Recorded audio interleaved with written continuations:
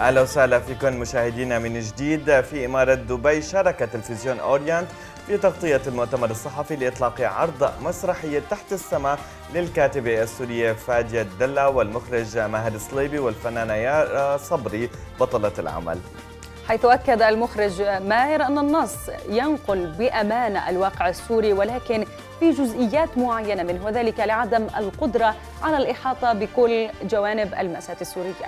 نعم سونيا فيما أشارت الكاتبة فادية دل أنها حاولت أن يكون الإنسان السوري في نص المسرحية هو الإنسان السوري الحقيقي الواقف على خشبة الحياة أو المسرح بكل كبرياء رغم كل ما يحيط هذا الإنسان من آلام وأحداث موجعة أما الفنانة يارا صبري فرأت أن العمل يحاول أن يقدم البعد الإنساني لما يحدث في سوريا بعيدا عن توجهات سياسية ووجهات نظر وغيرها. خلونا نتابع. حاولت أن يكون الإنسان السوري في النص كما هو الإنسان السوري في الواقع. واقف على خشبة المسرح اللي هي خشبة الحياة بكل كبريائه مطالب بحريته يستذكر عن حياته عم يحكي عن حياته مرة بفرح ومرة بحزن ومرة بألم وعم عم يحاول يقول إنه نحن سوريين كلياتنا مع بعض وبنحب بعض. وهلأ إذا بتنزل على سوريا بتلاقي هذا هو الواقع. كل شيء عم يجي من سوريا عم بيقول إنه هذا هو الواقع.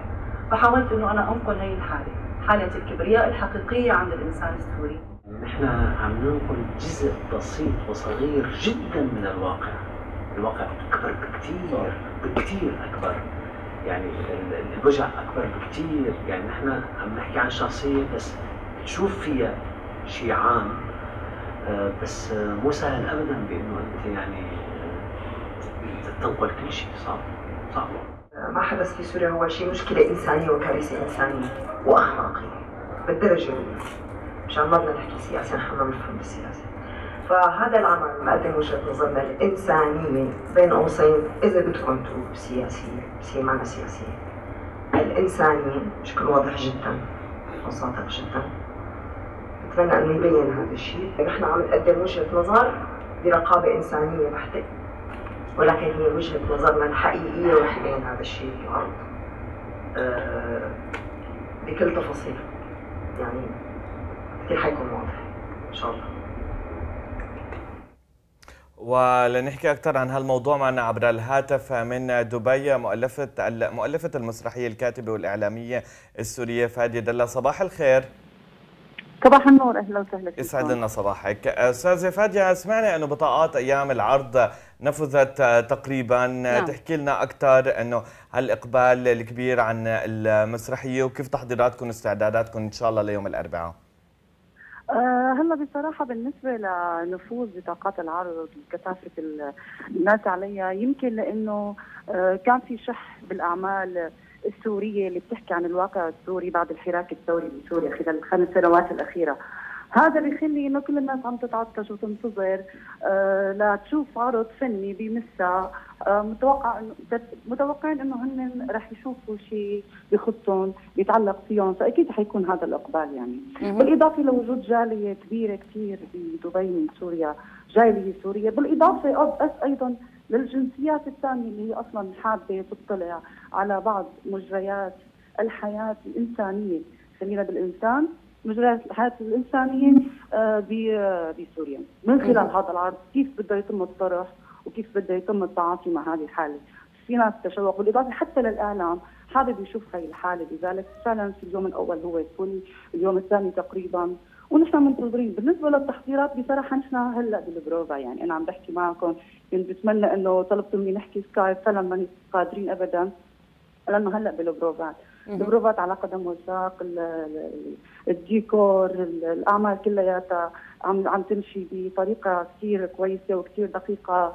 أنا بالنهاية عم بشتغل مع شخص فنان كبير مثل ماهر الصليبي كثير بيدرس التفاصيل وكثير بيدقق وكثير بيشوف كل شيء بالعرض عنده عين إخراجية كثير جميلة وكثير فنان له بيدرس كل تفصيل وكل شيء بسيط ما بيترك أي شيء يفوت من عينه. هذا الشيء بياخذ منه وقت أطول وجهد أكثر بيدرس كل الأمور كما يجب.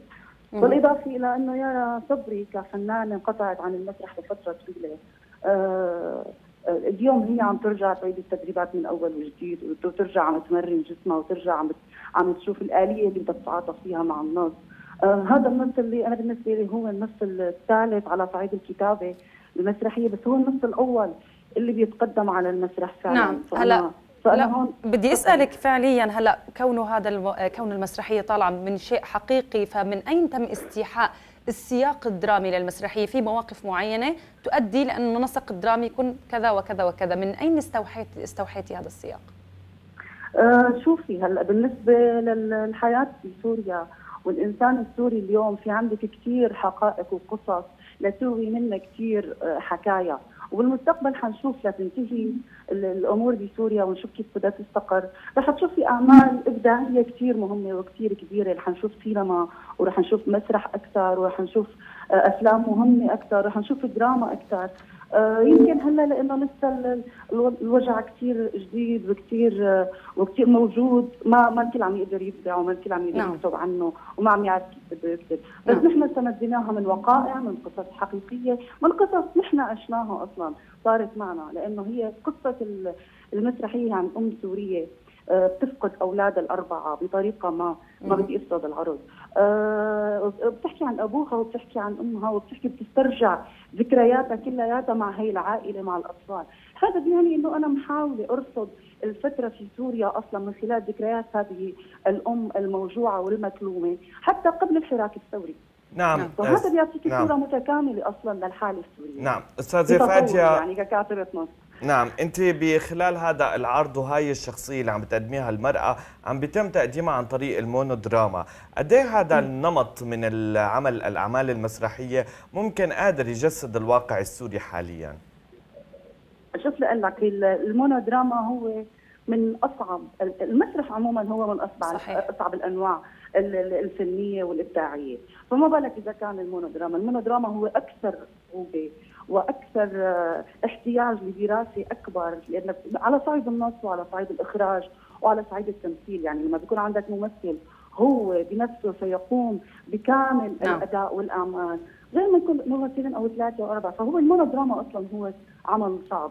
فما بالك بالمده الزمنية ودراسة الميزانسين وكل الأمور. هلأ بالنسبة لهذا الموضوع بالنسبة لأنه قديش قادر أنا برأيي إنه قادر لأنه أول شيء شخصيه عم بتناجي كل الذكريات تبعها اللي تتلاقى مع ذكريات كل الأمهات السوريات الآن. كل الأمهات السوريات لديهن أبناء سواء بأحد من الأطراف المتصارعه موجود هون أو هون أو هون هي مفقود بالنسبة لها أو مقتول أو شهيد نعم. أو ايا كانت المسمية. مسميات فنيا وابداعيا وانسانيا ما كان هم المسميات بقدر ما اهتمينا بالإنسان السوري بوجعه بإعادة التلاحم لأنه هذا التلاحم هو حقيقي هو ما شعارات. نعم. نعم. الكاتبه نعم. الكاتبة والإعلامية السورية فادية دلة كل الشكر الجزيل لك وأكيد أورينت ستتابع التغطية لهذه العروض المسرحية في مواقعها. كل الشكر. شكرا شكرا اورينت شكرا لكم شباب وصباح الخير لكم وللمشاهدين. شكرا للاستضافه الجميله هي نتمنى نشوف الجميع بالعرض المسرحي يوم الأربعاء الخميس والجمعة. إن شاء الله. شكرا كثير لك. يعطيكم ألف عافية.